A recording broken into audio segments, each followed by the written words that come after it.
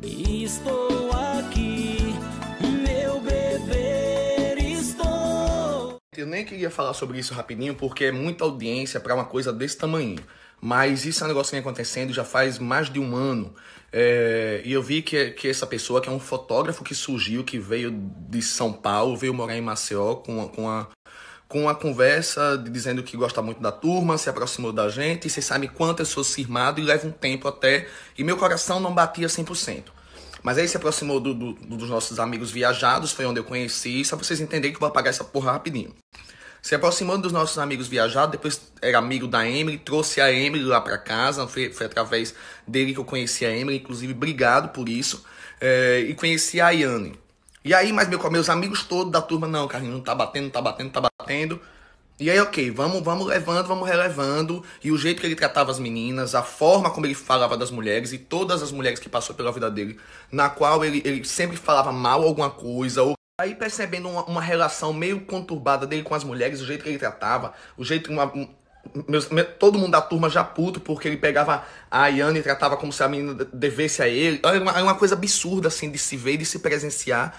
E aí, eu não tenho papas na língua, peguei esse caba junto com a Ayane, lembra da Gostosa 2, botei a Ayane desesperada. A Ayane está processando esse rapaz, inclusive. Era desesperada, em estado de choque, de ameaças, de coisas que ele fazia com a menina. Inclusive, eu tô, abri até um BO que é um saco eu ter que fazer isso, assim, de uma pessoa que eu não convivia na minha vida. Então, e aí esse, esse, esse fotógrafo começou a ficar com várias ameaças e, e postando, e, e, e, postando coisas sobre mim, não sei o que, das traições dele com o Lucas, botando minha vida pessoal. De coisas que eu nem exponho na internet, coisas que já aconteceu na minha vida aqui na, aqui na internet. Moral da história. Só que aí começou a ficar doentio o negócio. E ele começou a, a postar isso aqui, ele fotografou a minha Ferrari na época, lembra? É, ele começou a postar isso aqui que eu achei o cúmulo da doença.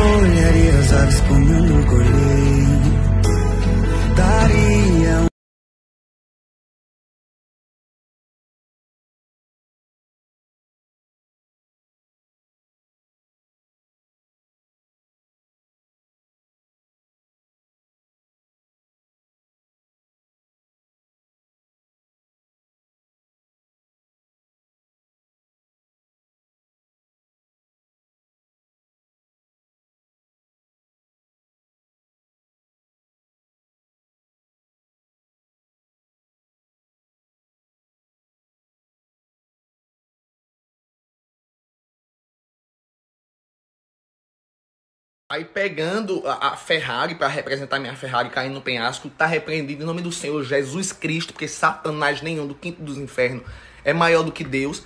E outra coisa, e, e várias dessas coisinhas eu relevando para não trazer. Isso já tem meses, tá?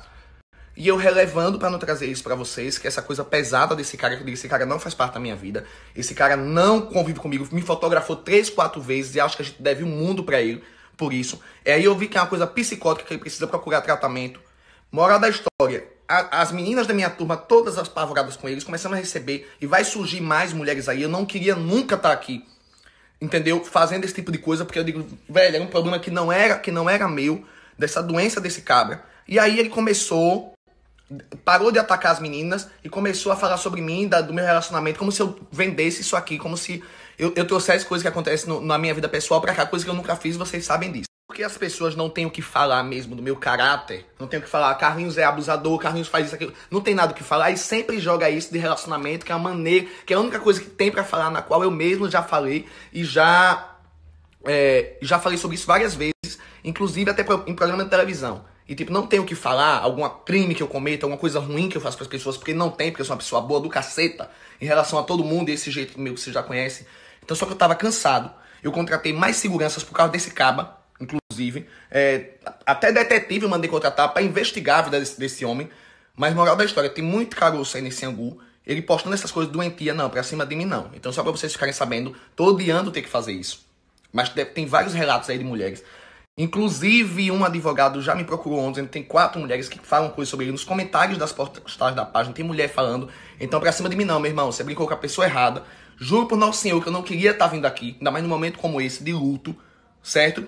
Mas é isso, não tenho sangue de barata, chega uma hora que você fica sufocado com gente vitimista que acha que é aquele povo que entra na sua vida. Aí, eu vou fazer isso aqui pra você, vou fazer isso aqui pra você, eita, vou fazer isso aqui pra você. Aí depois tá dizendo, ai, não, fui valorizado, foi valorizado. Não faça, não faça.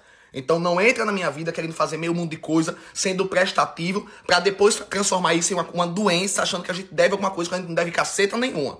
Fora isso desse carro aí, porque as meninas estão procurando, fora isso desse, dessa Ferrari caindo no penhasco. Ele, ele ficou botando coisa daquele jogo do round 6, entendeu? Coisa doentia mesmo de gente que devia estar tá na cadeia. Gente que devia estar tá na cadeia, porque isso não é normal.